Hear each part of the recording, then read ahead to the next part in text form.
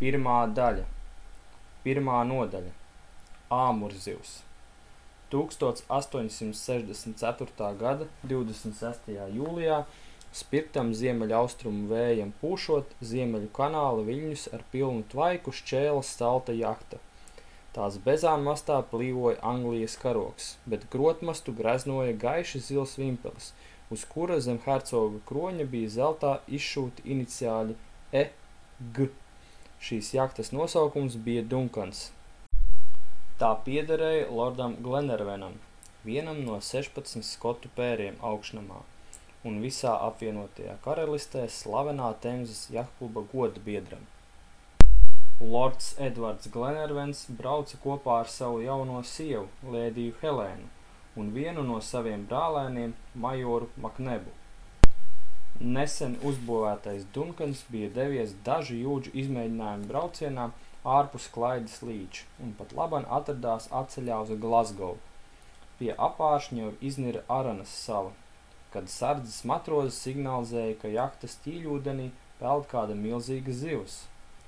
Kapteinis Džons Mengls tūdaļ paziņoja par to lordam Edvardam. Uzkāpis kopā ar majoru Maknebus klāja, lords pajautāja kapteinim, kas pēc viņa domām šis nesvērs varētu būt. Manuprāt, jūsu augstība tā ir liela haizivs, Džons Mengls atbildēja. Haizivs šais ūdeņos? Glenervens šaubīdamies iesaucās. Tas nav nekas neparasts, kapteinis turpināja. Šās sugas haizivis sastopamas visās jūrās un visos platumu grādos. Tā ir āmurzivs. Ja nemaldos, mums ir darīšana ar vienu no šiem nelietīgajiem radījumiem.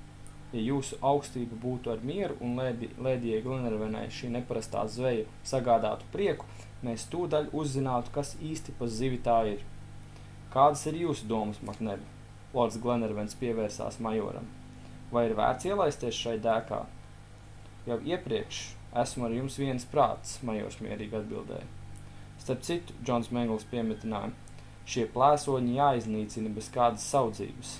Izmantosim gadījumu, un ja vien jūsu augstībai lapatiksies, mēs ne tikai redzēsim aizraujošu skatu, bet reizē izdarīsim arī labu darbu. Lai notiek, Džon, Lords Glenervens noteica. Pēc tam viņš lika brīdināt lēdiju Helēnu, kas atsteidzās uz klāju, gaužām saintriģēta par neparasto zveju. Jūra bija lieliska. Ūdenī varēja labi saskatīt haizivs straujās un apbrīnojami spēcīgās kustības, kad tā traucās uz priekšu, brīžam inirdama, brīžam iznirdama virspusē. Džons Mengls deva rīkojumu. Matroži pārmeta pār labā borta reliņiem stipru tavu, kuras galā bija āķis ar pamatīgu speķa gabalu.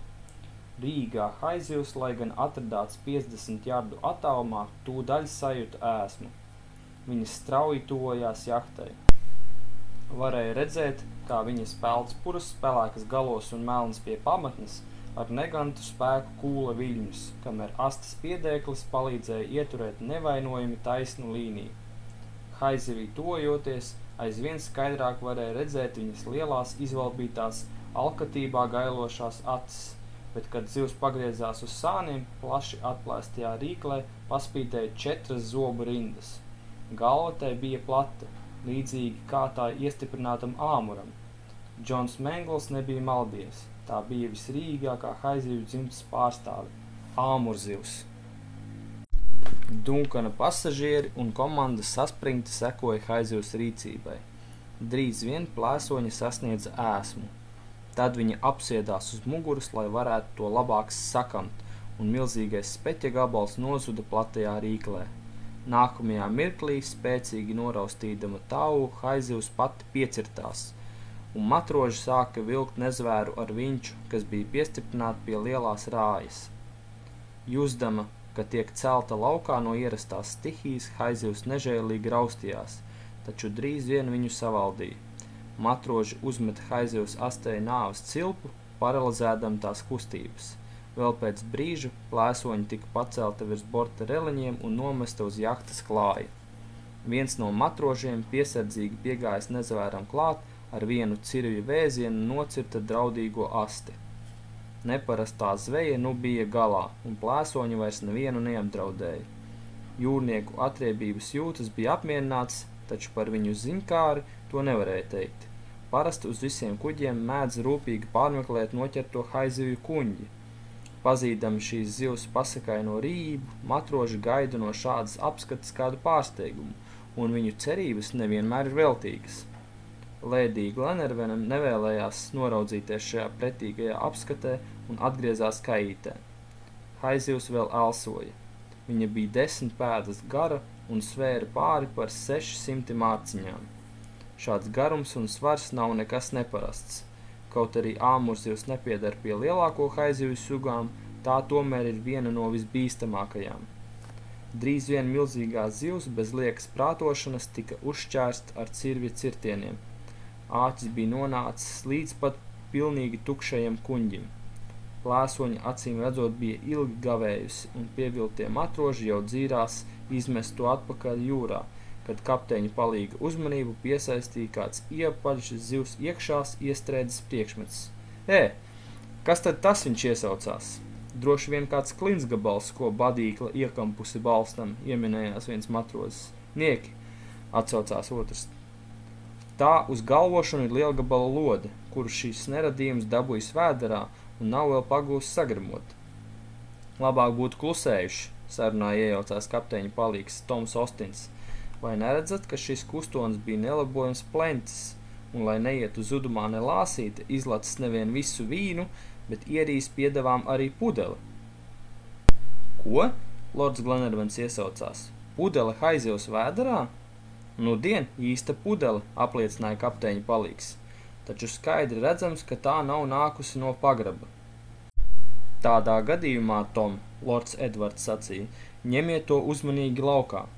Jūrā izmestās pudelēs bieži vien atrodas svarīgi dokumenti. Jūs tā domājat? Majors Makneps ievaicājās. Es domāju tikai to, ka tas varētu tā būt. Es nemaz nestrīdos ar jums, majors atbildēja. Ļoti iespējams, ka šī pudele glabā kādu noslēpumu. Tūlīt mēs to uzzināsim, Glenervens sacīja. Kā veicas, Tom? Te tā ir, kapteiņa palīgs atbildēja rādītams nenoteiktas formas priekšmetu, kuru ar pūlēm bija izvilcis no haizivs vēdera. Labi, Glenervens noteica, lieciet šo netīro pikuci nomazgāt un pēc tam ienesiet kaītē. Toms izpildīja pavēli, un tik neparastos apstākļos atrastā pudele drīz vien atradās kopkaītē uz galda, ap kuru sasēdās Lods Glenervens, majors Makneps, kapteinis Džons Mengls un lēdija Helēna, jo sievietes, kā stāst, alaži esot mazliet ziņkārīgas. Jūrā ik viens notikums iegūst īpašu uzmanību. Brīdi valdīja klusums. Visu klātesošo skatieni bija pievērsti trauslajam traukam. Ko tas slēpa sevī? Nelaimes vēsti par kuģa bojājēju vai tikai nesautīgu zīmīti, kuru garlaicības mākts kuģinieks uzticējis viņu rotaļai? Galu galā tomēr vajadzēja tikt skaidrībā, un Glenervens stājās pie pudeles izpētes, centīgi ievērotams šādos gadījumos nepieciešamo piesardzību. Šai brīdī viņš atgādināja krimināllietu izmeklētāju, kas iedziļinās smaga nozieguma apstākļos. Glenervens darīja pareizi tā rīkodamies, jo bieži vien šķietami nenozīmīgs sīkums paver ceļu svarīgam atklājumam. Vispirms pudele tika izpētīta no ārpuses, Pudelei bija pagarš izturīgs kakls, uz kura vēl bija saglabājies sarūsējies stieples gabals. Biezais stikls, kas varēja izturēt vairāku atmosfēru spiedienu, nepārprotami liecināja, ka pudele nākusi no šampaņas. Ar šādām pudelēm AI van Epernei svīnkopi pārsit krēslu atzveltnes un stikls pat neieplaisā. Nav šaubu, ka arī šī pudele varēs izturēt tālā ceļa pārbaudījumus. Kliko firmas pudele majors konstatēja, un tā kā Makneps tika uzskatīts par pazinēju šai nozarē, viņa apgalvojumu neviens pat nemēģināja apstrīdēt.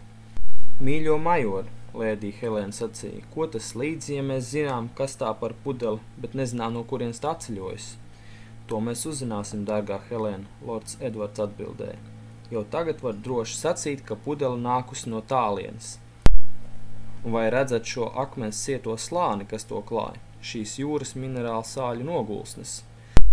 Tātad pudele jau ilgi klīdusi pa okeānu iekams nokļūsi haizivs vēdrā. Esmu ar jums viens prāts, majors atsaucās.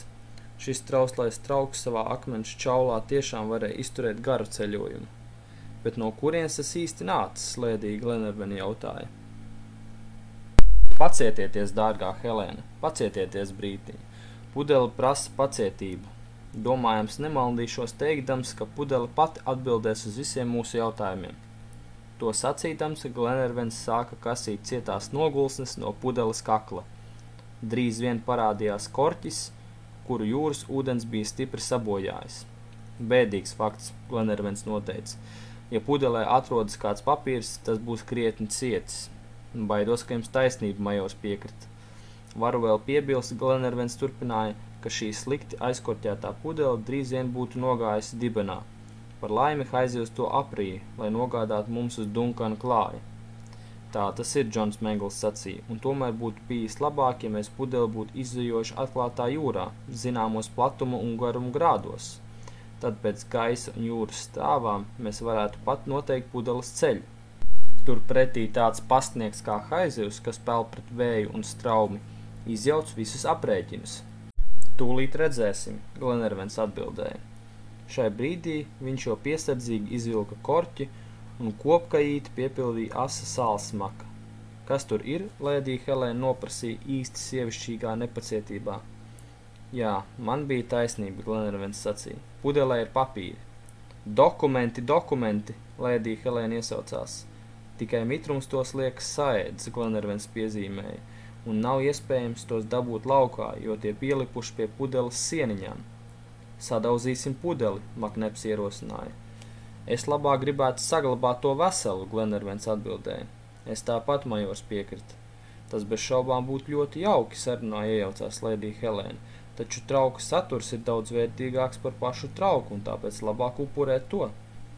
Ja jūsu augstība nodauzītu pudelē tikai kakliņu, Džons Mengls ieteica, mēs varētu izvilkt dokumentus laukā, nenodarot tiem nekādus bojājumus. Dariet to, mīļais Edvard, Lēdija Glenervena iesaucās. Tā kā bija grūti ko citu izgudrot, Lords Glenervens tā arī izlēma nodauzīt vērtīgai pudelē kaklu. Vajadzēja ņemt palīgā āmuru, jo akmens čauli bija cieta kā granīts. Drīz vien uz galda nobira stikla lauskas un kļuva redzami vairāki kopā salipuši papīra gabaliņi. Kamēr Glenervens tos uzmanīgi ņēma laukā, atdalīja citu no cita un lika uz galda, lēdija Helēna, majors un kapteinis stāvēja viņam apkārt.